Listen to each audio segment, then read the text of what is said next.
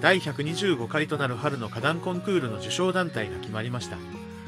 今回は花作りの達人小中高校基本自由の4部門に計172団体個人がエントリーしました。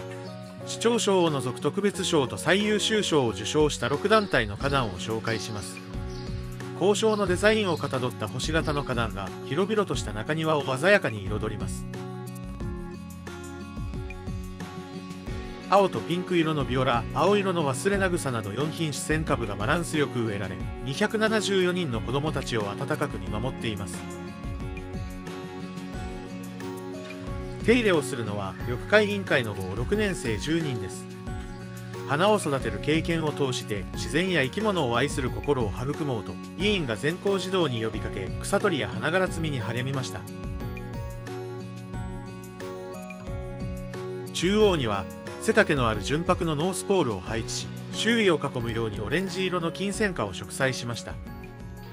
5年生が手がけた段ボールコンポストの堆肥のおかげで生き生きと美しく咲き揃いました。森谷博人委員長は草取りは大変だったけど努力が報われて嬉しいと喜びました。一番になれて嬉しかった。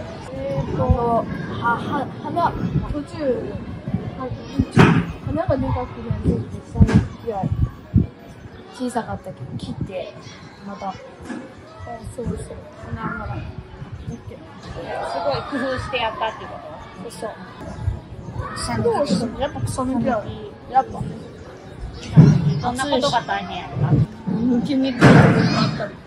あ抜きにくいところがあって。お量が多かった。ああ、草の量が多かった。確かに。もっと草抜きして。うん。確かゼロに。有名人。有名人？政府か県庁。まあ、地域の人とかにはどうか。あ、地域の人にも見てほしい。